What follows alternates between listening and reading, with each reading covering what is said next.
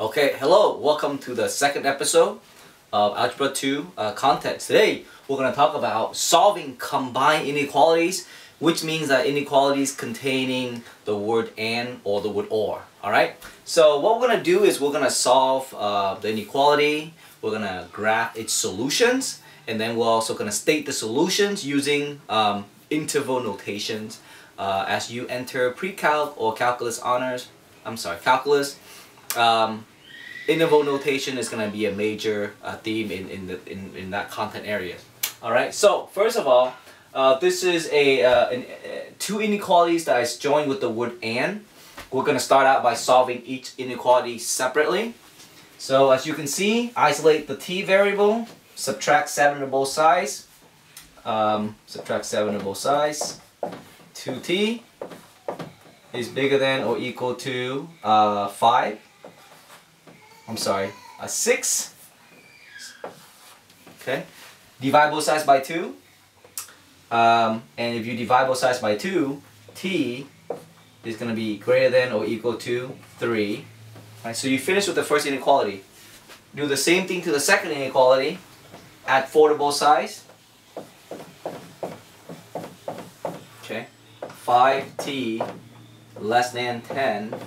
Divide both sides by 5 t less than 2. Alright, here's a common mistake. Make sure you bring down the word and, otherwise it will be wrong. Sorry, that was my dad. So, um, so your solution is anything that's bigger than 3, bigger than or equal to 3, and less than or equal to 2.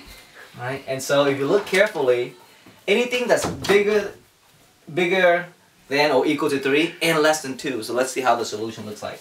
Okay, so graphically, um, when we graph the solutions, we look for the intersection. Uh, here is uh, 0, 1, 2, 3, 4, 5, okay?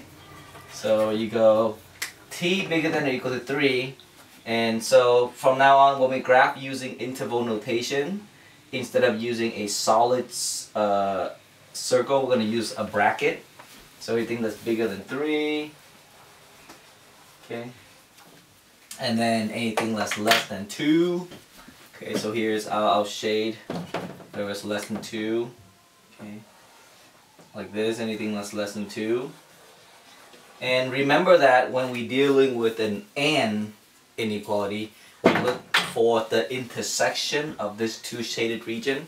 If you look carefully, these two do not intersect. So this problem has no solution. Alright, so look, it's hard to kind of see that this guy has no solution by looking at the inequality. But if you look at the, uh, the, the problem, the solution from a graphical perspective, you see that they don't intersect anywhere, so we say no solution. So the problem has no solution. Alright, you're done. Okay? Alright, so that's an AND, but uh, let me give you another example of an, an AND uh, uh, uh, inequalities or two inequalities that I join with the, the word and. And uh, we'll, we'll try this problem again.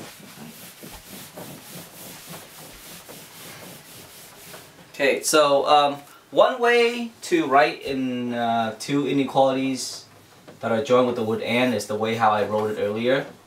Another way is to write it like this, where you have uh, two inequalities together in the same uh, expression. So like that. Okay, that's also an, um, uh, these are two inequalities that are joined with the word and. It's just written in a condensed form. Alright, so ideally solve for k by removing the 1 and removing the negative 2 in front of the k. Alright, and the way how we remove the 1 is we subtract 1 to both sides. Um, 6 less than negative 2k less than 2. So I subtract 1 on both sides. I'm going to go ahead and divide both sides by negative 2. Remember, when you divide both sides by a negative number, flip your inequality. Right? So this becomes 3 greater than k greater than negative 1. Alright? And so what we do now is we kind of flip things around so that it looks uh, so that's in its proper form.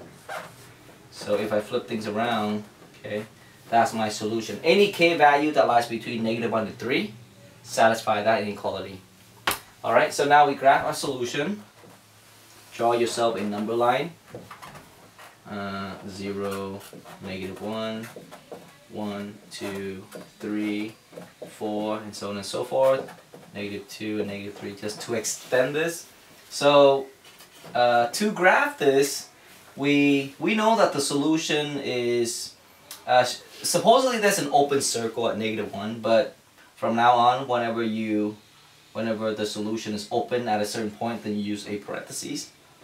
It's also open at 3, so use parentheses, and then shade everything between between negative 1 and 3. That's the solution for that. And then using interval notation, which is something that I introduced uh, in the previous lesson, um, it is negative 1 and 3. Okay? It looks like an order pair, but it's not an order pair. It's another way to demonstrate or to show the solution instead of using inequality. Alright, so all those three means the same thing. We're going to take a look at one problem that has uh, the, the word or, or in other words, we'll look at an inequality that's joined by the word or. Alright.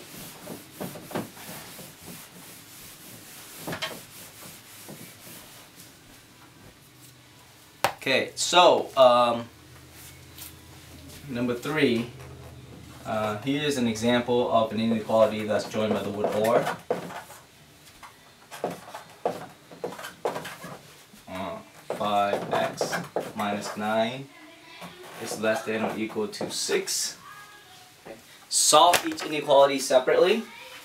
Subtract 3 to both sides negative, uh, 2 if you subtract 3 to both sides. Alright? Divide both sides by 2.